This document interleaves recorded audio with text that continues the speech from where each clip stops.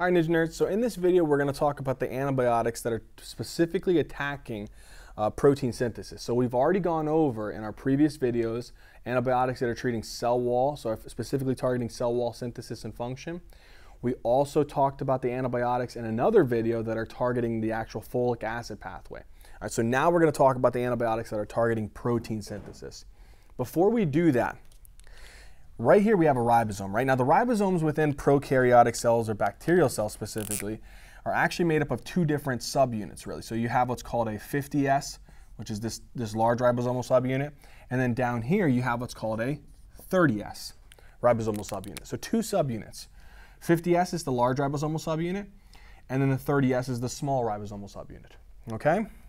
And the reason why I'm mentioning this is because certain drugs attack the 50S rather than the 30S. Okay. So the first ones that we're going to talk about here, let's actually first off start specifically looking at the antibiotics that are uh, targeting the 50S. So let's look at the uh, macrolides. So let's take a look at the macrolides. So macrolides. So macrolides are specifically, if I were to give specific examples of macrolides, um, this would be like erythromycin. So erythromycin. This could be like uh, azithromycin. So azithromycin. And even clarithromycin. So I could even say another one, which is actually going to be clarithromycin right? So I got azithromycin, clarithromycin, azithromycin. These are actually going to be antibiotics here. And what are these guys specifically doing? These are very, very interesting. So what they do is they attack the 50S ribosomal subunit. How do they do that? Okay, so you know what happens is the tRNA will come in, so you have the different parts of the ribosome. You have the A site, you have the P site, and then you have the E site. What happens is these macrolides, they actually come over here, and what they do is, as the ribosome is actually, it moves across the mRNA, right? So this is right here is the mRNA. So what it does is, the ribosome actually moves along the mRNA and synthesizes the protein. What these macrolides do is, is they inhibit the ribosome from actually moving and elongating the actual peptide chain. So they inhibit from reading or moving along the mRNA. If they inhibit it from moving along the mRNA, then what's it going to do? It's not going to be able to synthesize a functional protein. If it can't synthesize a functional protein, then what? This actually could actually cause, cause a lot of different problems. It's not bactericidal, it's bacteriostatic. So, and bacteriostatic meaning it actually inhibits specific types of cellular functions. That doesn't result, it doesn't actually cause the cell to die, but inhibits certain pathways from functioning right?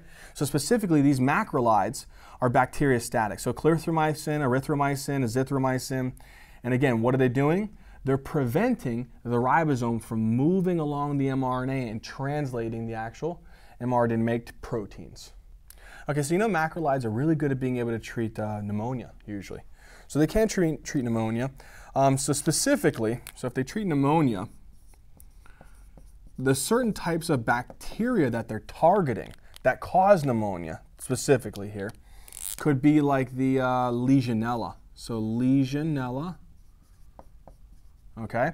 Or even the mycoplasma. So even mycoplasma that cause pneumonia. So it's targeting these certain types of bacteria, okay? All right, so another different one that I can actually treat is also specifically H. pylori. So H. pylori, you know, is specifically good at being able to uh, treat uh, usually specific types of uh, infections, specifically the peptic ulcer. So whenever you have the peptic ulcer, it can cause infections. So you can actually use this to treat H. pylori, okay? So it's good at being able to treat H. pylori. It's also good for being able to treat certain types of gastrointestinal tract infections, right? So certain types of GI infections. What types of GI infections? GI infections that are caused by the Campylobacter. Okay, so let's write this down. So what the types of infections? GI tract infections, right? And what type of bacteria specifically? Specifically targeting the Campylo, Campylobacter. Okay, so specifically the Campylobacter. Okay, what else? This guy can do a lot. So he, you know, he can also be used to treat uh, Um, you know, it's also really good at being able to treat specific types of sexually transmitted diseases too. So sexually transmitted diseases. So what types of uh, sexually transmitted diseases can this guy treat? He's also good at being able to treat specifically uh, chlamydia and gonorrhea. So chlamydia and gonorrhea. All right, so again, let's go over macrolides one more time. So what are macrolides doing? Macrolides, and then what are the types there? You have azithromycin, you have clarithromycin, you have erythromycin. These are going to be able to treat gram-positive and gram-negative. Clarithromycin is a little bit better for the gram-negative coverage. But what are they doing? Their mechanism of action is they inhibit the ribosome from actually moving along the mRNA. So they prevent the actual elongation of the peptide chain, right? So they prevent that from happening. How, what kind of bacteria they can, can they treat? They can treat pneumonia, which can be caused by Legionella or Mycoplasma. They can treat H. pylori, which is one of the common causes of the specific types of peptic ulcers, right, that can become infected. They can also treat GI tract infections caused by the Campylobacter, and they can treat sexually transmitted diseases like chlamydia and even gonorrhea. Okay, so this is our macrolides. Now let's move over and look at the other guy that can target the 50S subunit. This guy's here are actually going to be called your aminoglycosides. So these are going to be your amino glycosides. So what are some of the aminoglycosides? So you could have what's called gentamicin, gentamicin, gentamicin. Uh, you could have what's called tobramycin. And there's other different types of aminoglycosides that you could use. But again, these are just a couple. I'm not going to mention all of them, but gentamicin, tobramycin, these are aminoglycosides. Now, aminoglycosides are pretty cool. What can these aminoglycosides actually do? So aminoglycosides are really good at being able to specifically, so they target the 50S subunit. How do they target the 50S subunit? Okay, so let's say that we have, you see this guy right here? This is called a tRNA, so our transfer RNA, right? So this is our tRNA. So a tRNA is carrying specifically the anticodons complementary to the codons within the mRNA, and then they're carrying a specific amino acid that's specific to those codons. Now, when this guy is coming into the A site, guess what these aminoglycosides do? They come in and they block the frick out of this guy. He's like, no way you're not getting into this site. So it blocks the tRNA from being able to come into the A site. If it blocks the tRNA from being able to come into the A site, can you be able to make a functional proteins out of that? No. So it's blocking this tRNA, which is carrying the amino acids, the building blocks for proteins. If you inhibit the tRNA from coming in here and then allowing for this protein to be elongated and made, then you're not going to be able to allow for this bacteria to survive eventually, right? So again, this tRNA is actually being inhibited from binding here in the A site by aminoglycosides like gentamicin and tobramycin. Now, aminoglycosides are weird because these are actually bactericidal, whereas the mac macrolides are bacteriostatic. So these actually cause cell death directly. These ones do not. Okay? They can actually eventually cause the cell to die, but their main effect is actually bacteriostatic in effect, which is kind of a, a complicated topic. All right, so what aminoglycosides do? They treat mainly gram-negative, but they have gram-positive and gram-negative coverage. So they're mainly treating um, gram-negative like Pseudomonas, so like, like Pseudomonas, um, other different types of gram-negative like aerobic gram-negative bacteria. So certain types of aerobic gram-negative bacteria.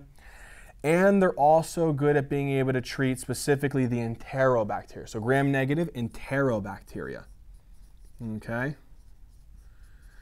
So what kind of things could they actually treat? Um, you can actually use aminoglycosides to treat specifically. Um, these are actually good at being able to treat uh, usually four different things here. So what are these four things here? One is it's actually used to be able to treat specifically urinary tract infections. So it's actually good at being able to treat urinary tract infections. It's also good at being able to treat pneumonia okay? And it's also good at being able to treat meningitis, okay, as well as peritonitis, okay? Peritonitis. You know, peritonitis is an inflammation of the peritoneum within inside of the actual gastrointestinal tract. So again, it can treat urinary tract infections, pneumonia, meningitis, peritonitis, and what type of bacteria is it targeting? Uh, Pseudomonas, uh, aerobic gram-negative bacteria, as well as certain types of enterobacteria. Okay, so that's our aminoglycosides. And what is it doing? It's inhibiting the tRNA from binding into the A site. Okay. All right, so the last one that we're going to talk about here that's targeting this protein synthesis pathway, pathway is tetracyclines. So specifically, what kind would we use here? We could actually go over uh, tetracycline, so certain types of tetracycline antibiotics. Uh, so for example, uh, doxycycline. So doxycycline is a really good one. So doxycycline. And tetracycline and doxycycline can treat a lot of different things. Um, one of the things that they can also, they can actually treat, um, they, they actually have the ability to treat specifically Lyme's disease. They've actually been uh, good at treating Lyme's disease lately.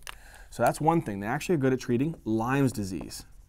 So you know what Lyme's disease is? It's actually caused by the uh, Borrelia burgdorferi protein. You know the tick bites, whenever the ticks actually bite, they, they actually inject in the Borrelia burgdorferi protein, which causes a lot of problems like joint pain and even nervous system problems as well. Right? So they're also good at being able to treat chlamydia. So chlamydia, you know, is actually one of the uh, sexually transmitted diseases and actually can cause respiratory tract infections as well. So Lyme's disease, chlamydia, um, it's also good at being able to treat other different types of, you know, I can actually treat acne too. They actually give it to people who have acne. So they actually use it for acne. Um, acne and rosacea. So acne and rosacea. They also, interestingly, use it. Uh, you know, back in the day, they used to have what's called the bubonic plague. Um, it's actually caused by a specific type of uh, pathogen called Yersinia, uh, Yersinia pestis actually caused the bubonic plague. This is some hardcore stuff, right? So it caused the bubonic plague. They actually can use tetracycline and doxycycline to be able to kill uh, certain types of bacteria like the Yersinia uh, pestis, which can cause the bubonic plague, as well as, some of you might have heard of this, anthrax. So it can also be used to treat anthrax. Oh, and you know what also is good at being able to treat? Pneumonia. So pneumonia too uh, pneumonia caused by uh, Legionella. So it's also good at being able to treat pneumonia caused by the Legionella bacteria. Okay, so which is a gram gram negative bacteria. So it's also good at being able to treat Legionella induced pneumonia. So tetracycline again, one more time, what does it do? He has the similar effect to the aminoglycosides, except he's targeting it here at the actual 30S ribosomal subunit. So aminoglycosides are targeting the 50S. So are macrolides. But the tetracycline and the doxycycline is inhibiting the 30S ribosomal subunit. How? Same thing. But instead of it binding here in the 50S ribosomal subunit, he comes in and binds to the 30S ribosomal subunit and prevents, again, prevents the tRNA from coming into the A site and allowing for it to read these codons in the mRNA. So if this does not happen, the proteins aren't going to be completely synthesized correctly. And tetracycline and doxycycline is a bacteriostatic antibiotic, okay?